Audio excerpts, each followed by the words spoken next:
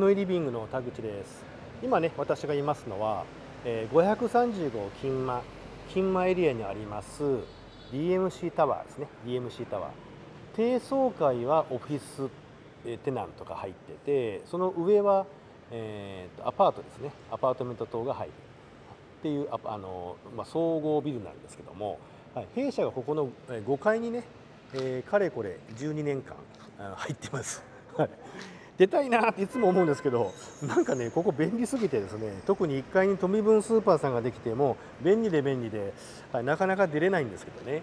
はい、まあ古いんですけどもそれなりにリノベートをかけながらコツコツとやってると。そういうアパートなんですよね。物件です。で、えーと、低層階の上のあのサービスアパートがあるんですけどそこがね今回15階の部屋でフロアでワンベッドルーム66平米。で3ベッドルーム134平米の部屋がリノベートで空いてきました。はい。リノベートで開くというかリノベートして出てきたということですね。はい、どんな感じの部屋かねこれからあの部屋にカメラを入れてね皆様にご紹介していきますので、はい。えー、これ1階の、えー、アパートのレセプションですよね、うん、じゃあ部屋に上がっていきます。はい、えー、15階に上がってきましてお部屋ですね。ご紹介しますね。ワンベッドルームのお部屋です。ワンベッド66平米のワンベッドルーム。お尻が040415階です。この部屋が今空いてます。ちょっとねおちょっと見ていきますね。入り口入ってまずねドーンとこうリビングダイニングキッチンがあって左側にベッドルームと。で入り口の際にはバスルームっていうねこういう間取りですね。はい。非常にオーソドックスな非常にオーソドックスな間取りです。66平米。うん。こんな部屋もあるんですよね。 one bed two bed three bed 何でもこの DMC はありますのではい、皆様の、まご予算と家族人数に応じて決めてくださいっていうことなんですよね。これも綺麗にリノベートしました。順次やっていってんでしょうねこれね。もう一時も古い家具ばっかり入っててね。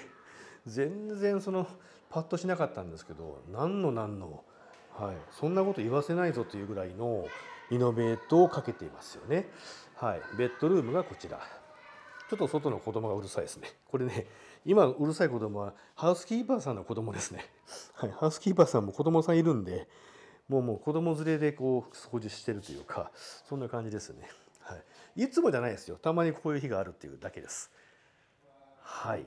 こんな感じ。で、向こうに見えてるのは、えー、グエンチンタイン通りですよね。グエンチンタイン。ということは、えっ、ー、と、こっち側が北側ですね。で、こっちだから東向きですね。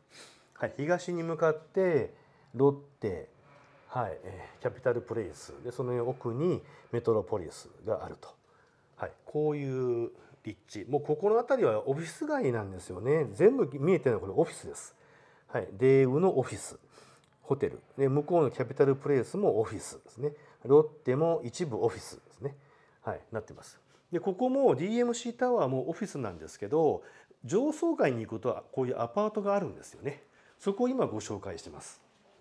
はい、66平米の one bedroom。ちょっと細かくいきますね、はい、細かくね IH のクッキングヒーターが入りました。でビルトインのオーブンね。えー、っと one bedroom でも、えつくと、はい、で一口のキッチンシンクがあって日立の冷蔵庫が来ますと。お皿とかお鍋とかフライパンとかねまな板包丁 chopstick はいそんなん全部つきますんでまだセットアップはしてませんけどね。してませんけど、まあ、ちゃんとつきますんでそこは大丈夫です。でここで調理してあの煙が出ればゴーッと吸い取って、はい、外に吐き出すと。いう仕組みになっています。はい、でリビングダイニングキッチンでリビングにダイキンのインバーターエアコンがついてます。でバルコニー、えーと、リビングから吐き出しのバルコニーがあります。外に出れますね。そこでタバコを吸っていただいても OK っていうことですね。でテレビはまだついてません。これからつきます。はい。で、えコーヒーテーブルですね。うん、まああのダイニングテーブルもこれぐらいなんで、まあ、単身向けだと思うんですよねこれね十分かなと思いますねオーブンまでついてるんでで下足箱がここにあってでちゃんと一応かまちをね、はい、上と下のあのかまちを つけてくれてるっていうかタイルとここからが居室ですよとフローリングですよねになってる。でバスタブ付き。お湯タンクは何リットルかな？ちょっと調べます。概要欄に書いておきますんで50か80かどっちか分かりません。すいません。で、えー、便器があってヒップシャワーがついてますね。はい。で Electrolux のこれがねあこれはそうか。これは9キロ6キロだから乾燥機能付きの洗濯機ですね。はい。で INAX の、えー、洗面。で TOTO あこれイナックスすみません。イナックスの便器がついてます。うん、まあもう完璧ですね。はい、完璧です。女性単身の方でも室内に、えー、洗濯機があるんでね、あの、大丈夫ですよね。はい、66なんでまあ大体こんな感じ。66っていうのはバルコニー面積も入れて66ですね。はい、実質居室でいうと50とかかもしれませんね。まあ単身向けにちょうどいい広さのまあ部屋かなっていう感じですね。はい、でこの部屋で2023年11月の20今日1日20今の時点で家賃は1500ドルこれ1500ドルこの1500ドルはもちろん税金管理費が入ります。はい、あのベトナム企業との契約でレッドインボイスを出してほしい。全然 OK です。はい、レッドインボイスを出します。ちゃんと納税しますんで。税込み1500ですね。あとハウスキーピングサービスが週6日。月曜日から土曜日。これ減らしてくれっていうのもあのありです。大丈夫です。交渉できますんで。何もなければ週6日入りますよ。はい。掃除洗濯。洗濯は週3回です。はい、決められたカゴがあるんでそのカゴに入れてるものだけを洗濯機に回して乾かして畳んで置いときますというところまでやりますはい、あとはリネン交換が週2回リネン交換というのはベッドシーツ枕カバーの交換ですね。ベッドシーツ枕カバーの交換それ週2回やってくれます。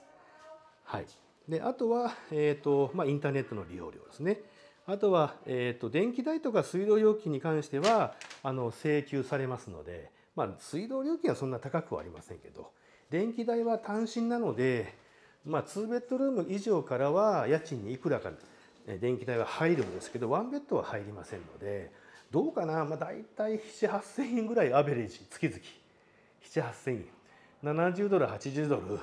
100ドル行く時はもう超夏の暑い5月6月だったらずっとかけたりすると100ドルなのかもしれませんけど基本的には皆さんここから車の会社に乗ってねピックアップ受けて郊外の工業団地とかこの辺の会社にあの通勤する方なので昼間は何もね電気使わないですからまあ言っても8,000円80ドルぐらいかな70ドルぐらいだと思ってください。